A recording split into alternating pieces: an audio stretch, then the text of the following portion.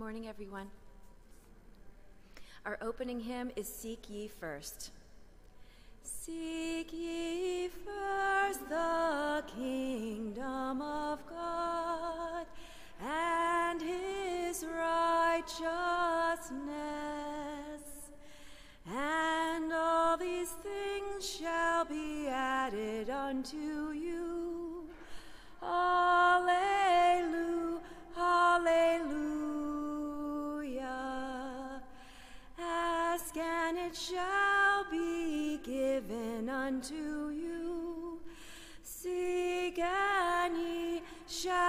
find. Knock and the door shall be opened unto you.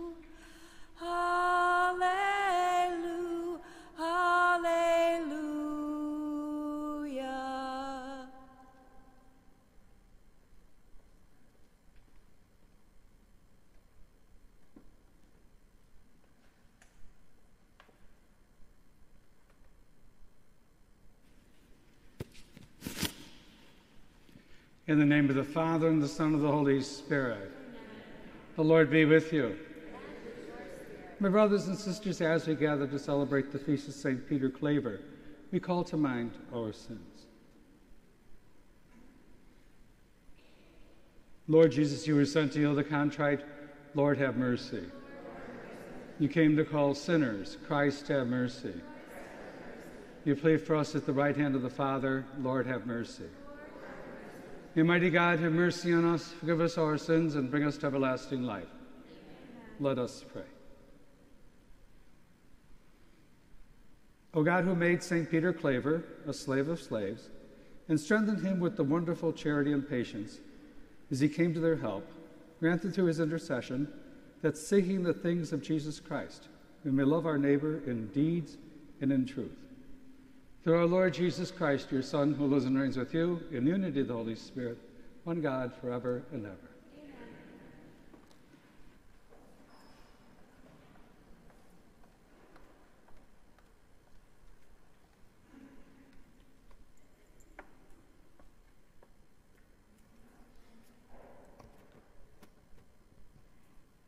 The first reading is a reading from the first letter of St. Paul to the Corinthians. Brothers and sisters, in regard to virgins, I have no commandment from the Lord, but I give my opinion as one who by the Lord's mercy is trustworthy. So this is what I think best because of the present distress. That it is a good thing for a person to remain as he is. Are you bound to a wife? Do not seek a separation. Are you free of a wife? Then do, do not look for a wife. If you marry, however, you do not sin, nor does an unmarried woman sin if she marries. But such people will experience affliction in their earthly life, and I would like to spare you that. I tell you, brothers, the time is running out. From now on, let those having wives act as not having them those weeping as not weeping, those rejoicing as not rejoicing, those buying as not owning, those using the world as not using it fully. For the world in its present form is passing away. The word of the Lord. The responsorial psalm Listen to me, daughter, see and bend your ear. Listen to me. Hear, O daughter, and see, turn your ear. Forget your people and your father's house. So, so shall the kings desire your beauty, for he is your Lord, and you must worship him. Listen to me. All glorious is the king's daughter as she enters. Her raiment is threaded with spun gold. In embroidered, embroidered apparel, she is borne in to the king. Behind her, the virgins of her train are brought to you. Daughter, see and bend your ear. They are born in with gladness and joy. They enter the palace of the king. The place of your fathers your sons shall have. You shall make them princes through all the land. Listen to me.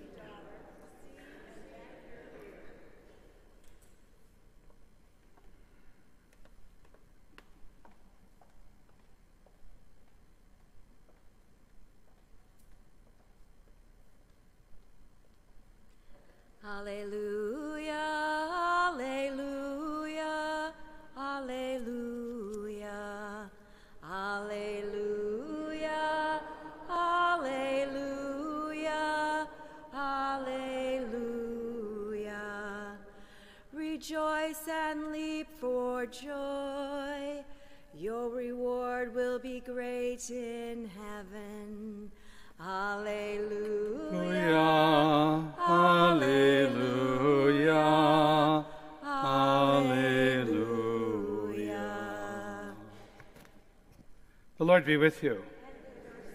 A reading from the Holy Gospel according to Luke.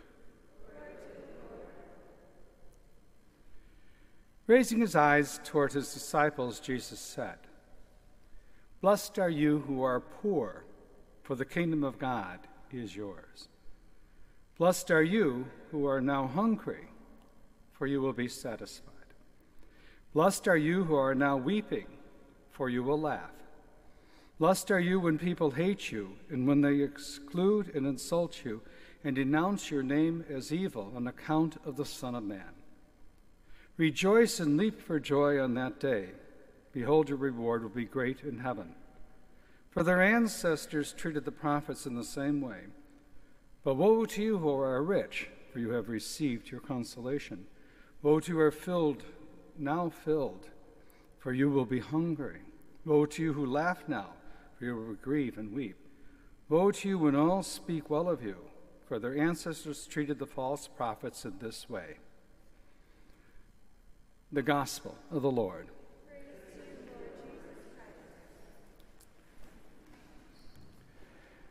On the first reading, Paul has nothing against marriage. The second coming is going to take place, so focus on the going to take place soon. So focus on the afterlife. Don't worry about earthly things. But if you took the scripture study last spring, you would have known that because we discussed Paul. But today we celebrate the feast of St. Peter Claver. He was born in Spain, joined the Jesuits, and was uh, stationed in Bolivia. And he became the pastor to a great group of slaves. And he fell so enamored in, with, so fell in love with them that became known as the slave to the slaves. And when he died, he was canonized because of his ministry to the slaves in Bolivia. To this day, the African American community really thinks highly of Peter Claver. In fact, when black um, African Americans were not allowed to join the Knights of Columbus because they were black. They created their own society called the Society of St. Peter Claver in answer to the, um, to the Knights of Columbus. Now, that's, thank God, that has all changed, but you will see very few African Americans of the Knights of Columbus because of that. People who are much older will remember that. And what it did was is that it gave the African Americans at the time a sense of belonging in the church. Even though they couldn't join the Knights of Columbus, they could have their own society and do the same work as the Knights of Columbus did. Now, both, I'm not deriding the Knights of Columbus, but that was the culture of the day. And fortunately, the Knights of Columbus have changed for the better, and it's still a great organization. But I think it goes to the day's gospel. How do we treat our brothers and sisters? St. Luke is a takeoff on the, on the Beatitudes that we see in Matthew 5. How do we treat each other? How do we treat our brothers and sisters? Do we treat everyone with respect? Do we bring up the lowly? Do we give, give alms to the poor? Do we, do we treat each other with respect? And that's what the gospel challenges today to treat each other with respect. The Knights, uh, the Knights of Columbus and the St. St. Peter Claver Knights are a wonderful organization. May they continue to do good work, but may we, as a society, realize that we are all brothers and sisters in the Lord, and we are treat, treat each other with love, respect, as children of God.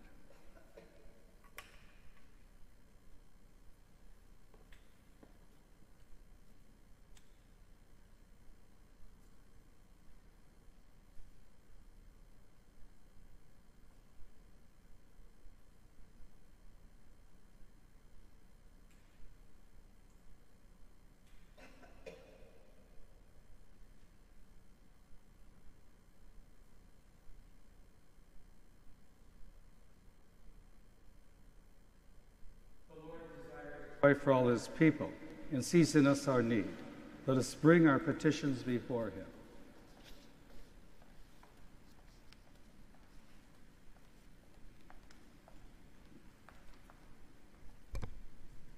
For the church leaders, may God continue to conform them to himself, empowering them for a wisdom with a wisdom that is not their own. Let us pray to the Lord. Lord, hear our prayer.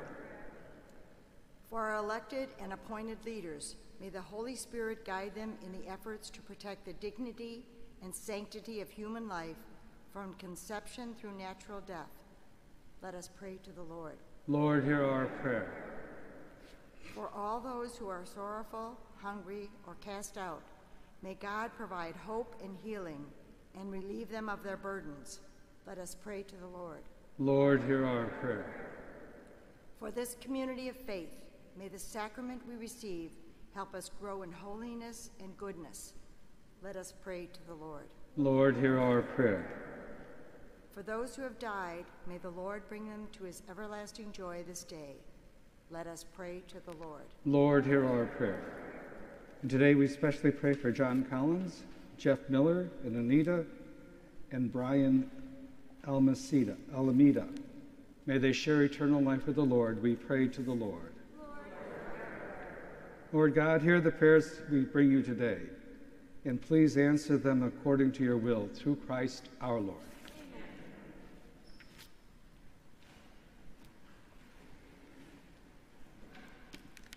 Our offertory hymn is We Have Been Told. We have been told, we've seen his face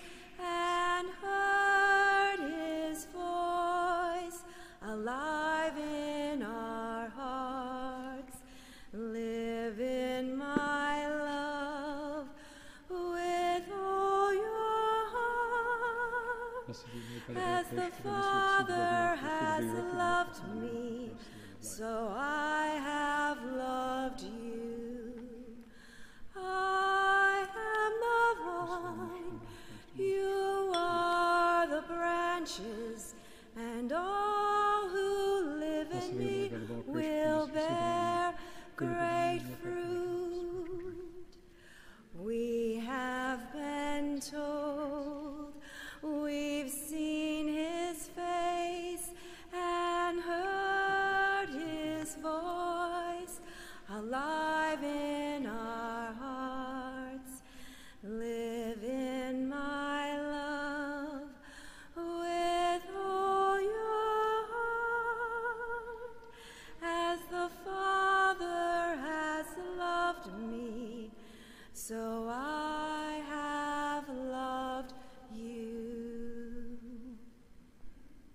Pray, my brothers and sisters, that my sacrifice and yours may be acceptable to God the Almighty Father.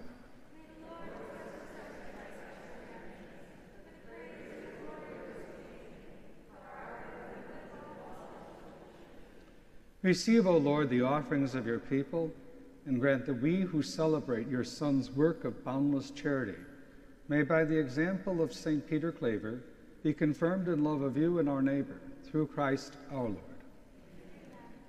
The Lord be with you. Lift up your hearts. Let us give thanks to the Lord our God. It is truly right and just, our duty and our salvation. Always and ever give you thanks, Lord, Holy Father, Almighty and eternal God, through Christ our Lord. For on the, on the festival of St. Peter Claver, you bid your church rejoice. So too you strengthen her by the example of his holy life, teach her by his words of preaching, and keep her safe in answer to his prayers. And so with the company of angels and saints we sing the hymn of your praise, at what end we acclaim. Holy, holy, holy Lord, God of hosts, heaven and earth are full of your glory. Hosanna in the highest. Blessed is he comes in the name of the Lord. Hosanna in the highest.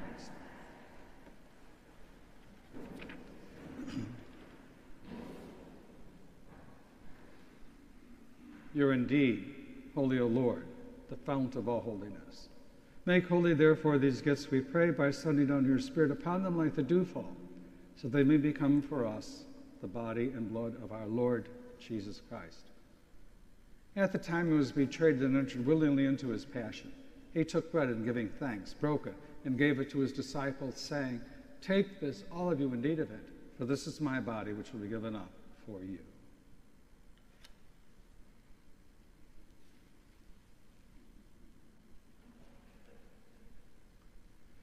In a similar way, when supper was ended, he took the chalice and once more giving thanks, he gave it to his disciples, saying, Take this, all of you, and drink from it. For this is the chalice of my blood, the blood of the new and eternal covenant, which will be poured out for you and for many for the forgiveness of sins. Do this in memory of me.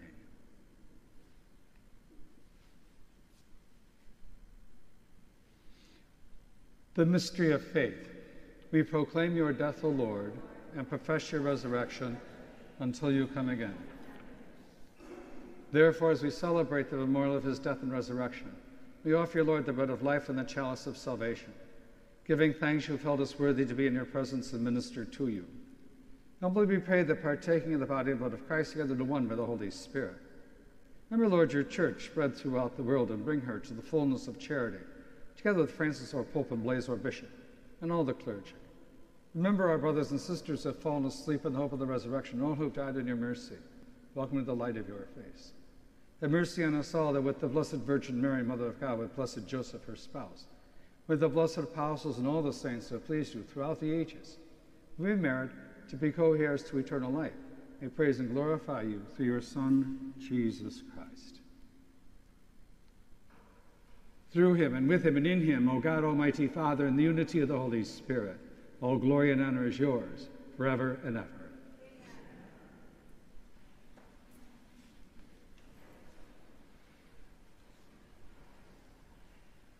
At the Savior's command and for my divine teaching, we dare to say, Our Father, who art in heaven, hallowed be thy name.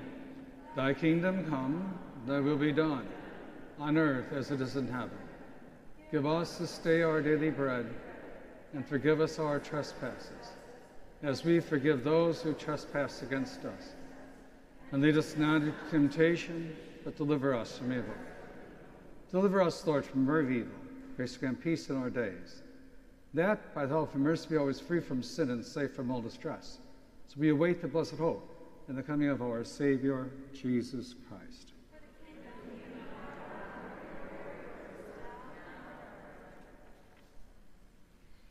Lord Jesus Christ, who said to your apostles, Peace I leave you, my peace I give you. Look not on our sins, but on the faith of your church, and graciously grant her peace in unity and in accordance with your will, who live and reign forever and ever. The peace of the Lord with you always. Let us offer each other a sign of Christ's peace.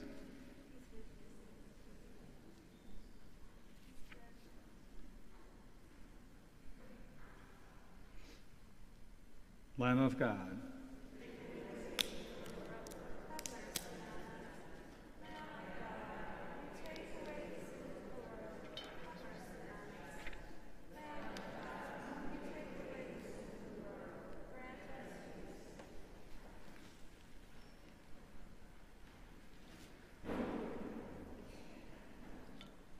Behold the Lamb of God, behold him who takes away the sins of the world.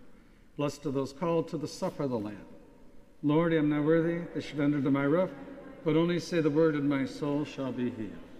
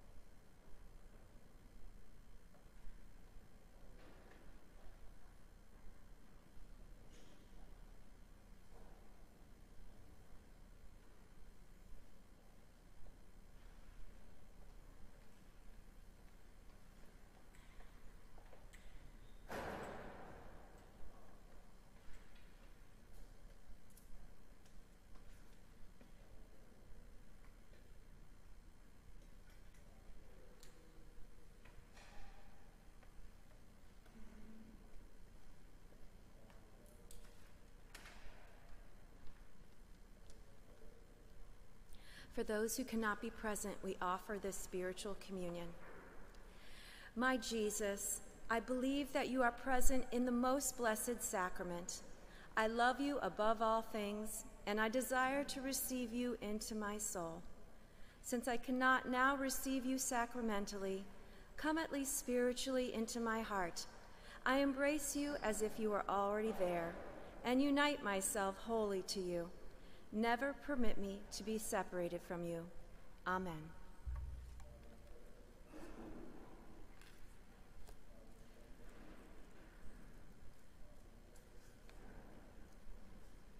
Our communion hymn is Be Not Afraid. You shall cross the barren desert, but you shall not die of thirst. You shall wander far in safety, though you do not know the way. You shall speak your words in foreign lands, and all will understand. You shall see the face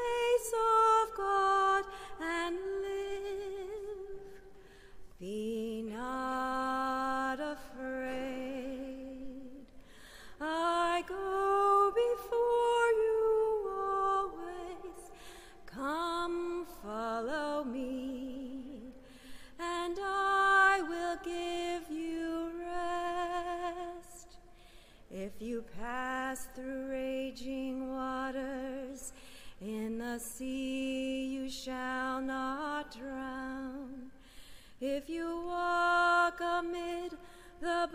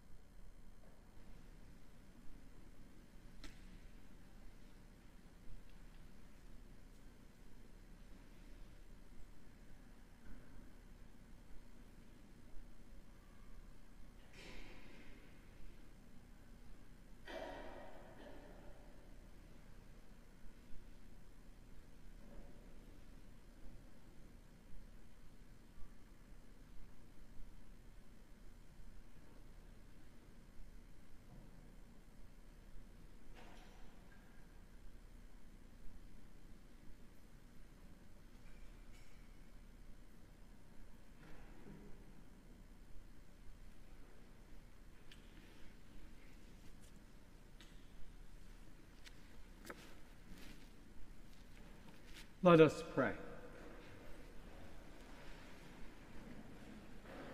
Receive, O Lord, the offerings of your people and grant that we, who celebrate your Son's work of boundless charity, may by the example of St. Peter Claver be confirmed in love of you and of our neighbor, through Christ our Lord. The Lord be with you. Almighty God bless you. The Father, the Son, and the Holy Spirit.